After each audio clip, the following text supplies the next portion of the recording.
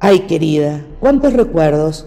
Si parece que fue ayer que dejamos el potrerito de calle Castelli. Caminando, nos trajimos todo, trofeos, sillas, pelotas. ¡Ja, ja! Y mira ahora, qué linda casa tenemos y cuánta historia por defender. Sé que los muchachos van a hacer todo para que sigamos en el Nacional B. Ellos saben lo que significan estos colores. Ellos saben lo que encierra este lugar. Acá brilló el Chalo Pedone y el Negro Camargo. Acá se cansó de hacer goles Orlando Vicente Garro. Acá enseñaron Godoy, Garín, Frigolé y Chipola. Acá está todo. Cuando yo jugaba al básquet y perdimos la final con gimnasia, no paré de llorar como por dos días, pero en el 68 volví a llorar con la misma intensidad, junto a tu abuelo, pero de alegría, porque hacía como 20 años que no ganábamos nada. En el 94 me pasó lo mismo. En este asiento se me caían solas las lágrimas cuando le ganamos a Guaraní la primera final. Tu mami era chiquita y me decía que no llorara.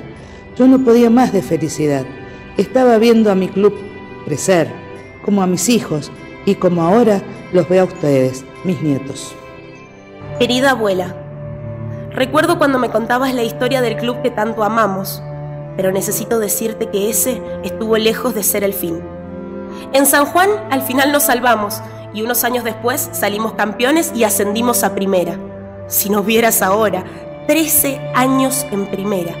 Jugamos dos Copas Sudamericanas y cuatro Libertadores. Le disputamos el campeonato a cualquiera. La cantera es admirada por todos. Tenemos un predio soñado. Ay, abuela, somos el único club grande del oeste argentino pero ¿sabes qué es lo más lindo?